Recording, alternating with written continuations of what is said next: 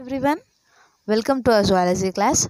So in today's zoology class we are going to discuss a new topic that is about fasciola larva forms that is about cercaria. Let us see what are the identification char- characters or comments.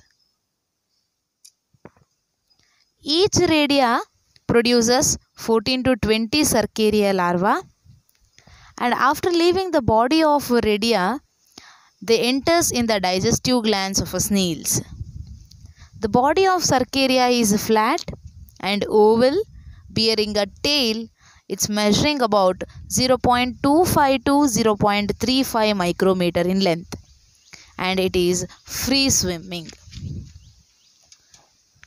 And the body wall consists of cuticles muscles and mesenchyme it has higher grade of organization and close resemblance with the adult fluke. It has two suckers. One is anterior oral sucker surrounding the mouth and ventral sucker which is situated in the middle of the body. And the body and tail are covered with backwardly directed spines. Digestive system comprises of mouth, oral sucker, musculopharynx, esophagus and inverted U-shaped intestine.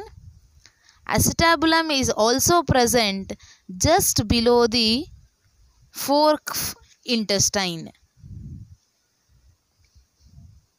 Flame cells are present as excretory organ and opens into pair of excretory tubule which unite in front of a tail to form an excretory vesicle or a bladder.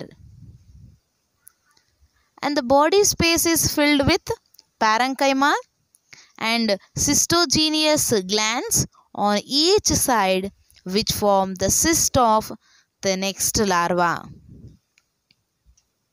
And rudimentary reproductive organs are present and the cercaria larva has very active life.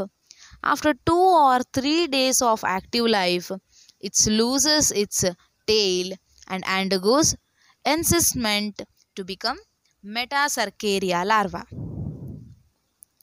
So the encysted larva is finally swallowed by a sheep which is like a final host. In this way these are the vegetative or identification characters of Cercaria. Thank you.